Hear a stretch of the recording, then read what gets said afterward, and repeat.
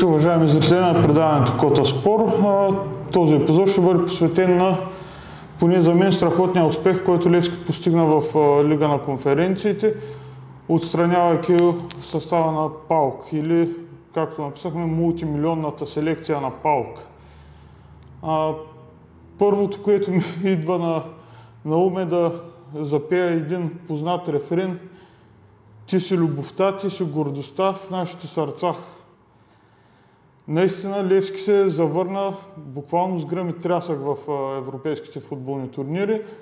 Не вярвам, всъщност със сигурност е имало малцина са вярвали в елиминирането на Паук.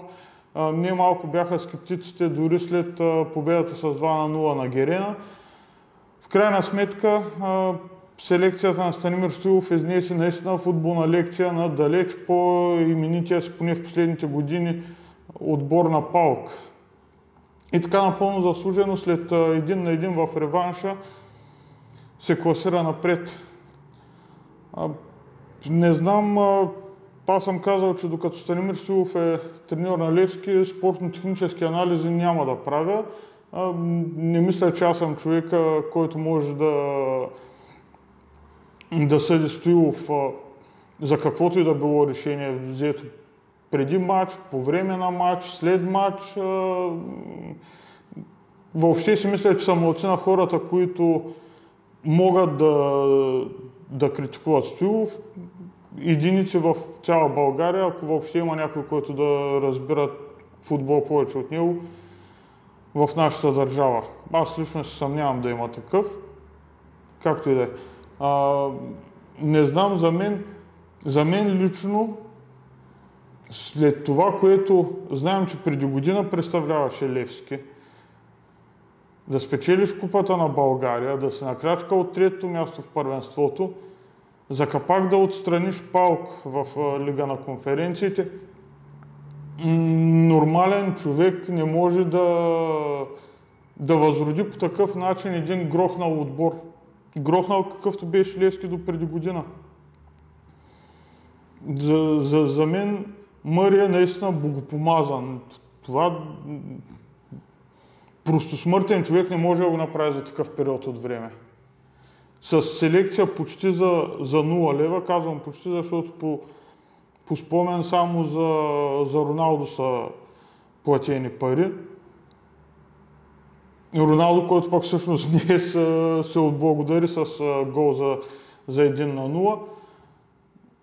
Наистина страхотен отбор и това, което лично на мен ми направи впечатление, е игра с а, такова спокойствие, с такава увереност в собствените си сили, че едни от думите на Мъри са на път да увехнат колко крехък е, е този отбор. Естествено, той се знае най-добре а, какво му коства да научи този отбор да, да изглежда по този начин. Той знае дали наистина са били толкова спокойни, колкото изглеждаха по време на матча. Но е факт, че поне отстрани наистина се представиха с страхотно спокойствие, с, а, изглеждаха като отбор, който е изиграл а, минимум стотина мача в а, евротурнирите. Нямаше паника дори при изравнителното попадение на Палк, а тогава все още Палк бяха с а, 11 души на терена. Не се влезе в нито един момент в мача в глуха защита, напротив, направи ми впечатление, че дори в началото на второто по време, когато се очакваше Паук да атакува масирано, да хвърлят всички сили, защото при 0 на 1 е ясно, че положението за 45 минути е или всичко или нищо. В нито един момент нямаше признаци на паника, много организирани, много чиста игра, което явно допълнително изнерви надменните гърци, определено изключително надменни. А, явно си мислеха, че твърде лесно ще върнат пред собствените фенове два гола пред, предина на Левски, което не се случи за, за наша радост. А, това явно ги изнерви пределно. Всички видяхме как се изпросиха два червени картона, особено този на капитана МВ Ириня. в рамките на 15 секунди два жълти картона, втория от които за бурно спора на съдийско решение. Това показва красноречиво до, до каква степен самите те не са вярвали, че Левски може да им даде такъв отпор и че е на няколко минути от това да ги елиминира. Всичко това наистина прави успеха на Левски изключително, изключително значим. Още повече на база това, което по времето на един от предходните треньори на Левски, когато имаше най-меко казвам немалко пари в клуба, помним Ая Кларнака какво се твори с отбора. Един срамен резултат. Това беше последната европейска поява на Левски преди двубоите с Палк. Така че наистина едно огромно благодарен, благодаря. Огромно благодаря към футболистите, най-вече към Станимир Стоилов за двете невероятни европейски вечери. Да, може би на Мъри критериите са много по-високи. Може би вече в главата му е нов европейски поход, но дори до тук да спрем, не вярвам някой да се разсърди нито на него, нито на футболистите, които а, такава наслада ни донесаха в тези два мача, че а, едва ли скоро ще бъде забравена. Не, не знам, наистина не знам какво повече да, да кажа. Те емоциите са доста силни. Правим предаването буквално минути след последния съдийски сигнал. Всичко в главата е прескача една мисъл, прескача друга. Аз самия до, до последния съдийски сигнал не, не може да, да повярвам, че, че това се случва, че, че Левски отстранява палка.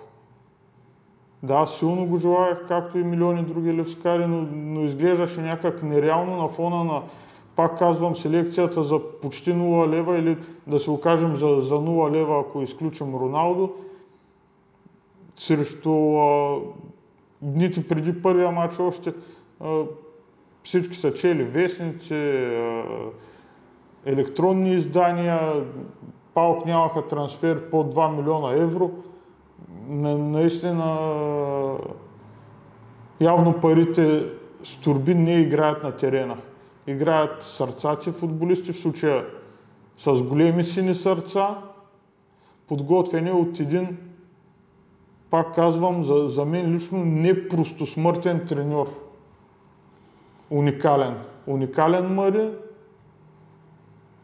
Благодарим. Не знам, ти ако имаш да кажеш нещо като... Нищо честито на Левски, браво на Мари.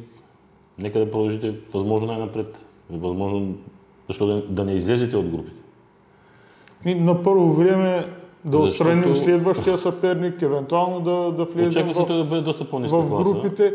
Да, но, но... Са, сам чуй мнението на Мъри след двубоя, че Трябва се притеснява точно от отбори, които са по-ниска класа от палка, от тук нататък до групите, евентуално при отстраняване на следващия съперник, всички ще бъдат такива. А, да, наистина Левски сега ще трябва да създава положение, да вкарва голове, както и самият Станимир Стоилов каза, там вече изпитват малко по-големи трудности неговите футболисти, но нека тая вечер и утре, и в други ден да се порадваме на а, елиминирането на Паук. А, Вяр, да... Вярвам, че Станимир Стоилов ще избере възможно най-добрия състав, най-добрата тактика. Апропо за пръв път Станимир Стоилов в първия матч излезе с схема 3-4-3 и то от немай къде тренира на има няма 20-30 минути. Перфектен матч, втори матч с същата схема, отново перфектен. Искам роден, да добавя още нещо. Аз... Роден за велики европейски вечери. Най-доброто от това, което показва Левски и разбира се Мари, не искам да говоря в... да анализирам, разбира се, като ти кажеш, ние да анализираме играта и това, което прави Мари. Но най-доброто е и най-хубавото е, и най- като пример е това, че човешкият фактор, тренерският фактор е силен. Той го показва. И може би е време вече да няма така и чуждопоклонничество, да, да има повече работа, по-малко приказки и повече професионализъм, говоря като цял българския футбол. Като това може както за самите треньори, така и за ръководствата, така и за самите играчи. Защото точно Станимир Стоилов за една година върна професионализма в Левски и показа, че с усилена работа, треньорска работа и разбира се съвместна с футболистите, може да се постигат много сериозни неща, много силни неща, какъвто беше матча с Паук и отстраняването на Паук, който стана ясно, че бюджетът е между 50 и 60 милиона евро, който в сравнение с нашите стандарти е космически бюджет. И може би да завършим в подкрепа на твоите думи с една мисъл на Станимир Стоилов отново, който каза още от ден първи при завръщането си на Герена, изключително много вярвам в тренерската работа. Точно. Явно е имало защо. И Още показва. веднъж поклон, Мари, благодарим ти за всичко. Успех!